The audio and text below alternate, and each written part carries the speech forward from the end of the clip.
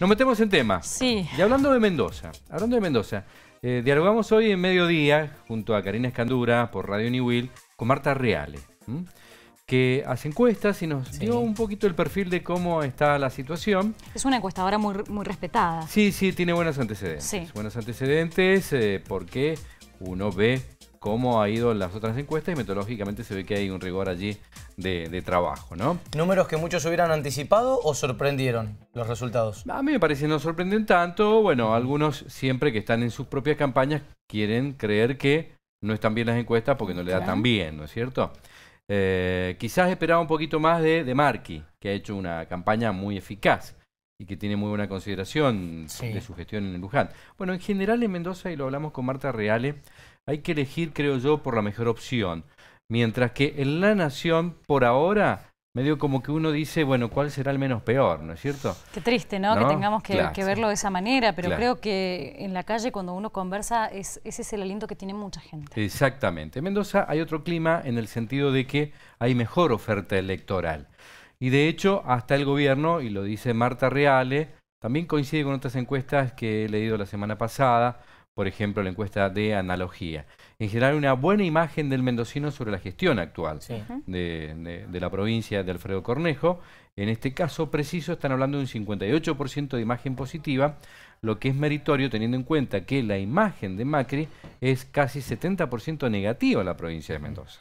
¿eh? Altísimo. De 58 positivo al gobierno provincial, el mismo signo político, digamos, por lo menos tiene un acuerdo que ha sido revalidado en la última convención radical, a nivel nacional la impresión de la misma persona consultada te da 70% negativo para Mauricio Macri, o 60 y tanto, casi 70, ¿no? Mérito del gobierno local. Exactamente, me parece que sí. Y un poquito del desmérito del nacional. También, las dos cosas. Eh, pero por otro lado, digamos, no queda alineado, ¿eh? muchas veces y bueno, también son elecciones desdobladas y eso también permite pensar las cosas de distinta manera. Yo creo que a nivel nacional le pega un poco el tema de la macroeconomía. Sí, sí, fundamental, ¿no? la macroeconomía. Le pega de lleno, ¿no? Un poco. Que eso se traduce en inflación, inflación en desocupación y pobreza. ¿eh? Ese es el combo. Se ha atenuado un poquitito en cuanto a las variables económicas y ahora el gobierno nacional se está jugando dentro de la estabilidad posible a dar un shock de consumo. No sé si hablaron ya de la hora 12, por ejemplo.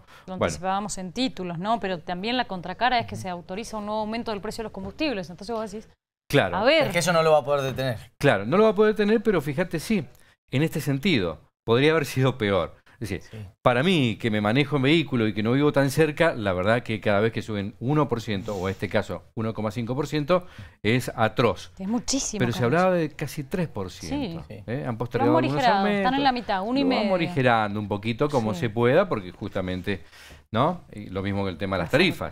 Ya nos mataron con las tarifas y ahora no han aplicado los últimos aumentos. Bueno, de hecho, los especialistas de uno y del otro lado prevén una inflación cada vez menor, o por lo menos menor para este próximo mes, para no irnos tan lejos. Claro. Ojalá que así sea. De, tres o menos, esperemos. Y el ahora 12, exacto. Y ahora el ahora 12, que ustedes nos van a comentar enseguida, va con una tasa de interés del 20%. En eso se está jugando el gobierno nacional y parece que va a caminar con Macri nomás y sin plan B.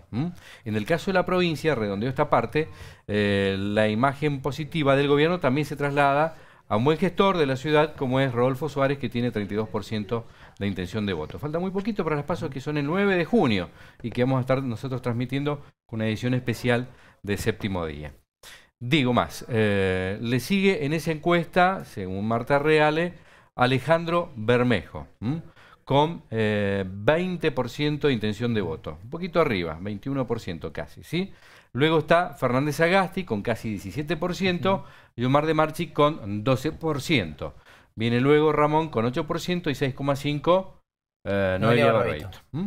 Bien, es lo que se ve en la, en la provincia. En la nación está bastante complicado también el tema de las encuestas, no solo por la novedad de los Fernández Fernández, sino también porque lo que tiene que ver con el medio, esto de la alternativa federal, todavía está un poquito confusa. Por un lado, tenés a Roberto Labaña, que el miércoles va a lanzar su intención ya definitiva de ser candidato a presidente con consenso 19, que es el lanzamiento de lo que es su agrupación.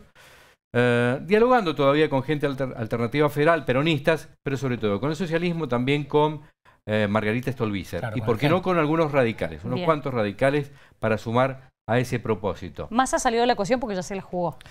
Lo de Massa se la jugó a medias. Es decir, Me parece que Pero levantó la mano hacia un lado. A ver, mediáticamente ya lo están ubicando en un lugar. Por eso también entendemos que se la Por el lado del kirchnerismo. Claro. ¿Mm?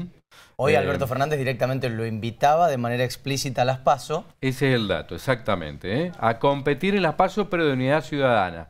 Y quien gana va a ser el candidato a presidente del kirchnerismo, ¿no es cierto? Eso sería... Pero la otra alternativa es que vaya a jugar a la provincia de Buenos Aires. Yo estoy dispuesto a donde me pongan, dice este, Sergio A empujar el carro, dijo también. A empujar el carro, exactamente. Y eso podría ser la provincia de Buenos Aires como candidato a gobernador. Allí habría que ver qué pasa con Kisilov y demás, ¿no es cierto? Ese es el armado dentro del kirchnerismo. Pero ¿cómo? Si hace unos días había hablado con Urtubey, con, con Pichetto, lo han llamado por teléfono y decir, bueno, flaco, habías quedado en que ibas a tener una competencia conmigo. Así le dijeron. ¿En serio? es que es, delgado, sí. Exacto. Con alternativa federal. Claro. Bueno, le están dejando el camino entonces a Urtubey, por ejemplo, en alternativa federal. Y es que Areti está un poquito silencioso, el cordobés. Urtubey hoy se reunió con el presidente Macri. Entonces algunos decían, ¿y no irá a componer la fórmula? Cero posibilidades, dice. Por lo menos hay allí una definición. Digamos que dentro de alternativa federal, lejos es Urtubey el más cercano a la Casa Rosada. Eh, bueno, Urtubey es el más cercano a la Casa Rosada, pero por eso tiene que salir a decir, no tengo nada que ver con Cambiemos. Si tiene que salir a aclarar, es justamente por lo que vos estás diciendo, ¿no es cierto? Bueno, de hecho esta mañana estuvieron juntos, ¿no? Estuvieron presentando en Salta la, ampliación de la línea ferroviaria. Exactamente, eso pasó hoy en Salta y allí también lanzaron el Ahora 12. Lo dejamos aquí, vamos a ir reposando toda esta información. Todavía no tenemos definiciones en el orden nacional y por eso tampoco se puede hacer encuestas muy serias a nivel país. Gracias, Carlos. Buen fin de semana.